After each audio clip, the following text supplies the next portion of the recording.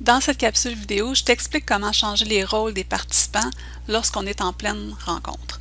Donc, on est capable de le faire quand on crée la rencontre, mais si la rencontre est déjà commencée, je suis capable de changer le rôle de l'élève, donc euh, pour être sûr que les élèves ne désactivent pas les micros ou n'expulsent pas aucun élève de la rencontre.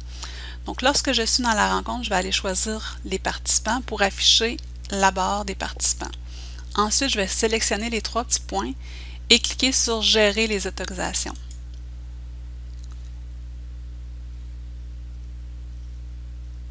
Donc, ce que ça fait, c'est que ça nous ouvre une fenêtre sur Internet avec les options de la réunion. Donc, on peut voir qui peut, qui peut éviter la salle d'attente. En fait, c'est qui, a accès à notre rencontre. Par défaut, ce sont les membres de mon organisation, donc les personnes qui ont une adresse courriel du centre de service scolaire. Donc, les parents ne sont pas inclus. Si jamais on veut que les parents puissent nous rejoindre, on doit le changer absolument à tous.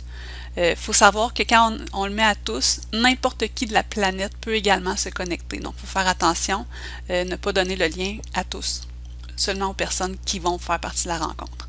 Donc, moi, je le laisse avec les membres de mon organisation. La deuxième chose à choisir, c'est qui peut présenter. Donc, par défaut, c'est tous les participants qui peuvent présenter. Ça veut dire que tout le monde a accès au micro des autres. Ils peuvent éteindre le micro des autres et même éteindre le micro de l'enseignant. Donc, on ne veut pas ça. Donc, ce qu'on va choisir, c'est moi uniquement. Donc, quand je clique sur moi uniquement, ça veut dire que je suis le seul qui va avoir le contrôle pour éteindre les micros des participants. Je pas avoir le contrôle pour les allumer, mais seulement pour les éteindre. Ensuite, je retourne dans Teams on voit maintenant que j'ai le rôle de présentateur, donc l'enseignant est le présentateur, alors que les élèves sont des participants, donc ils n'ont pas les mêmes rôles.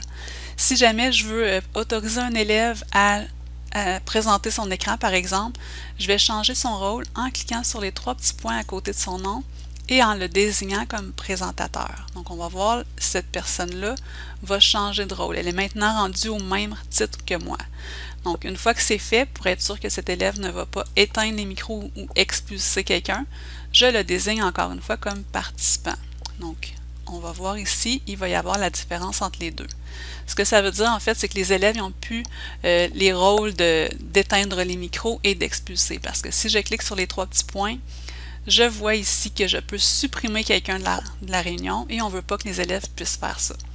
J'ai le même principe pour désactiver le micro. Il est déjà désactivé en ce moment, mais on pourrait désactiver le micro d'élève. Donc voilà,